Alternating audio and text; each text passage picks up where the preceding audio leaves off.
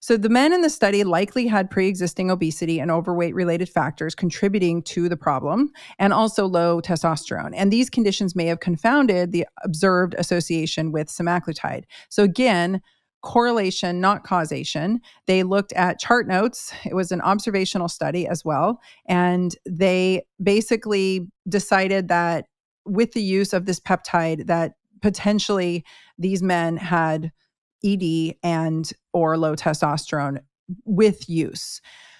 So kind of the same limitations, right? Kind of the same limitations. Um, we didn't get specifics on dosage again. The study likely examined doses within the therapeutic range for weight management, the high end being 2.4 milligrams of semaglutide. However, it's unclear if all patients were consistently using the highest approved dose or a range of doses. So I think, again, this might very much be a dosing and management issue, extreme weight loss, right? Um, too fast, too intense. Crushing of appetite is going to definitely decrease your intake of protein.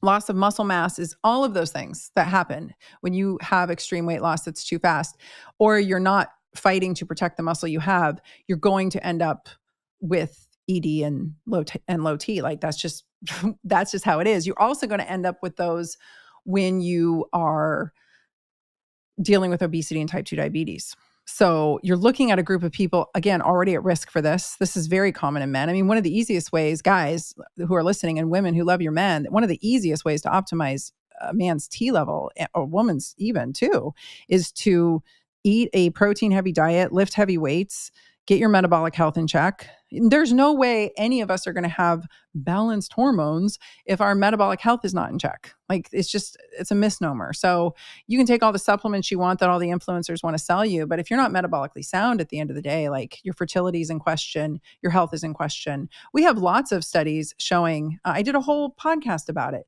um, talking about the benefits to the genitourinary system, if you will, in both men and women with the use of GLP 1s. You can go back and listen to that episode too. So, Anyway, the study was observational, making it vulnerable to confounding factors. It could not establish causality, but only an association between semaglutide use and increased risk for ED and hypogonadism.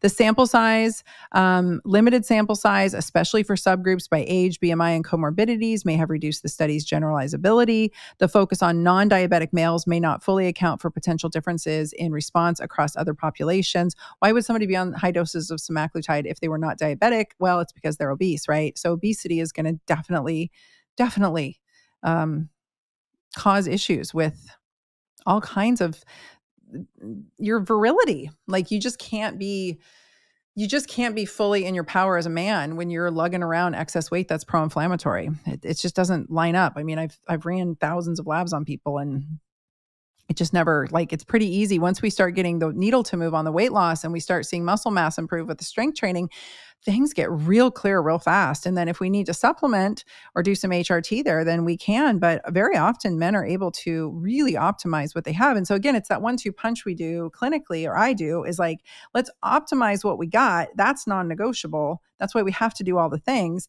But then maybe we're going to use some hormones as needed, right? But we can keep the dosage of those as low as humanly possible if the person's really doing all the things that matter. So, Weight loss itself, rather than semaglutide, could influence T levels and ED. Rapid or extreme weight loss is known to affect the hypothalamic pituitary gonadal axis, which may independently contribute to hypogonadism and ED. So there's a lot going on here. Other lifestyle or medication factors we're not fully controlled for. Maybe they're smokers, maybe they're sedentary, maybe they're not, you know, there is a use it and lose it to this. So one of the women too, hear me out. There's a use it and lose it here. So if you're not regularly engaging in you're going to have potential for ED. I mean, that's just a kind of a standard known thing in the community. So the doctors know it, whether they say it or not.